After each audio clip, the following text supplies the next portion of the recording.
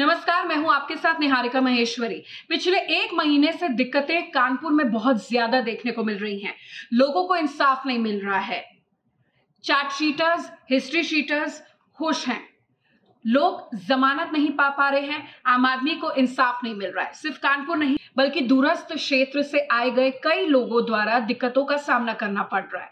कारण है यहाँ के वकीलों की स्ट्राइक, जो एक महीने से ज़्यादा का लंबा समय ले चुकी है।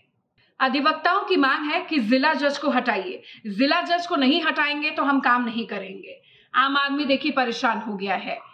न्याय के मंदिर में उसे न्याय नहीं मिल रहा है। केसेस वैसे ही पेंडिंग थे, जजेस वैसे ही कम थे और एक जिला जज को लेकर ये लगातार इतना बवाल बढ़ गया है कि इलाहाबाद हाई कोर्ट तक को हस्तक्षेप करना पड़ा। वकील आज कह रहे हैं कि कोर्ट से लेकर रोड तक हम संघर्ष करेंगे। चार राज्यों के वकील उनके साथ मिल गए हैं। 2000 के ऊपर वकील हैं, कह रहे हैं कि जिला जज जिस तरीके से भ्रष्टाचार और अभद्र भाषा का इस्तेमाल करते हैं, वो हम टॉलरेट नहीं कर सकते हैं। इलाहाबाद हाई कोर्ट कह रहा है कि आप अपना काम शुरू करिए, लेकिन वकील नहीं मान रहे हैं। सवाल ये है कि क्या ये वकील कानून से ऊपर हैं? पैरवी ये कानूनी तौर पर करते हैं, संविधान की दुहाई देते हैं। लेकिन अगर एक उच्चतम न्यायालय अगर इलाहाबाद हाई कोर्ट कुछ बोल रहा है तो उसका क्यों नहीं मान रहे? क्यों वकीलों में इतनी मानवता नहीं है कि उनके जो ईगोज हैं, वो आम आदमी या उनके क्लाइंट के इंटरेस्ट से बड़े हो गए? ये एक बड़ा सवाल है, क्योंकि एक महीने से ज़्यादा का समय अगर कोई कोर्ट किसी स्ट्राइक के कारण ठप हो जाती है तो आप समझिए कि मसले जितने पेंडिंग होते हैं, उतनी टेंशन आम आदमी की बढ़ जाती है। मेरे साथ इस वक्त दो पैनलिस्ट मौजूद हैं ये लीगल एक्सपर्ट हैं सुप्रीम कोर्ट के। एडवोकेट शिव कुमार त्रिपाठी जी और वे त्रिपाठी जी, आपका स्वागत है हमारे चैनल में। शिव कुमार जी, ये जो काला कोर्ट होता है, इससे सब डरते भी हैं और इसके पास सब जाते भी हैं कि इंसाफ हमें दिलाएगा। लेकिन जो कानपुर में हो रहा है यूपी बार काउंसिल विरोध में है। चार राज्यों के अधिवक्ता हैं और कह रहे हैं कि हमारी एक हवास पर पाँच हज़ार से ज़्यादा अधिवक्ता खड़े हो जाएँगे। ये जो गुंडई है, ये कानून से ऊपर क्यों हो गई है? और इसको लेकर आपका क्या रिएक्शन है? जैसा आप देख रही हैं कि ये जो है मूवमेंट बहुत दिन से चल रहा है और इस पे हाईकोर्ट की सात जजों के बेंच ने एक कंटेम क्रिमिनल कंटेम नोटिस भी भेजा था वहाँ के दो प्रेसिडेंट को और दो सेक्रेटरीज को, एक लायन चेम्बर्स के, एक जो है कानपुर बार एसोसिएशन के। आपने भी देखा होगा जिस दिन इसकी सुनवाई हुई थी सात अप्रैल को तो जो कानपुर बार एसोसिएशन के जो प्रेसिडेंट थे त्रिपाठी जी उन्होंने कहा कि जो है हाँ, कोर्ट ने कहा हम आपके जो लाइसेंस को भी सस्पेंड कर देंगे अगर आप लोग काम पे नहीं लौटे और सारी चीज़ें नहीं। मेरा ये मानना है जिस पर उन्होंने ये कहा कि जो है आप हमको कोर्ट जो भी चाहे सज़ा दे दे मुझे चाहे फांसी करा दे या कोर्ट दीवार कर दे तो भी मैं जो है ये अपना आंदोलन वापस नहीं लूँगा।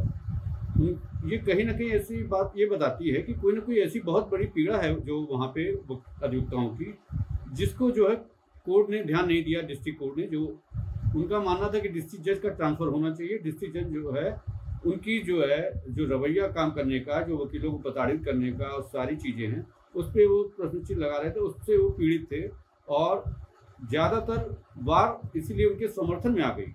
हालाँकि इससे क्या होता है कि जो वादी है वो परेशान होता है जिनकी गवाहियाँ होनी होती हैं, जिनको सम्मान देकर कोर्ट बुलाती है, वो जो है समय पर गवाही नहीं दे पाते हैं, जिसके कारण मामला जो है विचाराधीन रह जाता है और उनको जो न्याय मिलना समय से चाहिए, उसमें दूर की कौड़ी हो जाती है। तो मेरा तो ये मानना है, अभी आपको पता होगा कि जो है लॉ कमीशन जो है, जो 266 की जो रिपोर्ट में ये कहा गया था कि हर डिस्ट्रिक्ट में एक जो है अधिवक्ता का वो बनाया जाए, जो ग्रीवांस का सेल बनाया जाए, जिसका जो है प्रिसाइड डिस्ट्रिक्ट जज, जिसको चाहे अपनी एक कमेटी बना के डे टू डे उनकी प्रॉब्लम को सुना करे। लेकिन आज तक उस पर कोई अमल नहीं हुआ।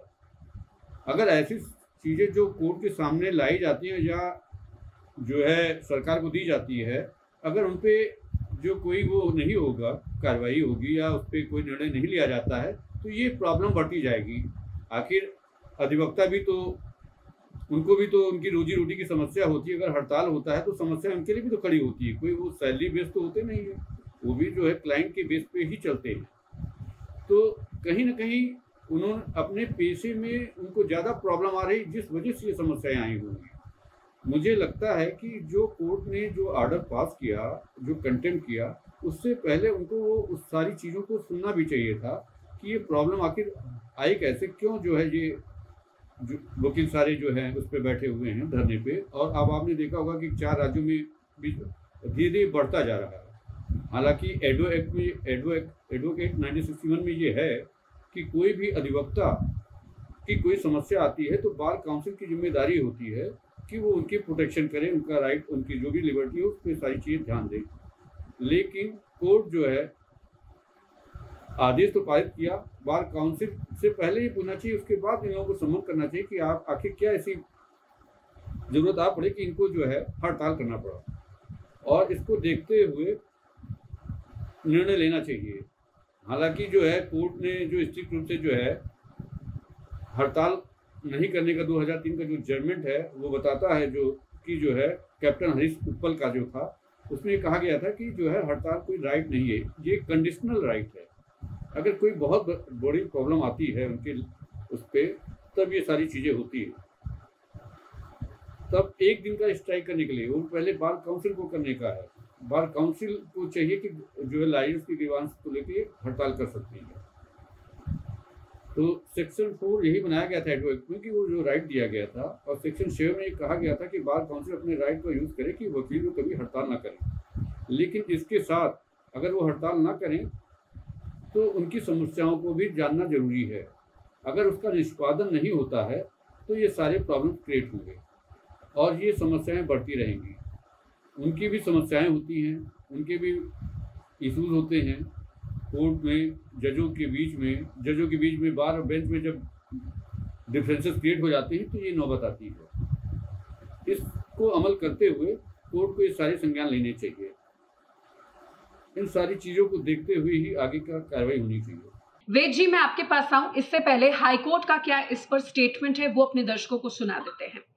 हाईकोर्ट जो हेडेड है the high court bench headed by chief justice Pritinker Diwaker वो क्या कह रहे हैं? वो कह रहे हैं कि इंटरम मेजर के तौर पर वो डायरेक्ट कर रहे हैं कि the lawyer shall remain their work forthwith and to purge the contempt and in case any hindrance is created by any lawyers or office bearers, it would be viewed seriously.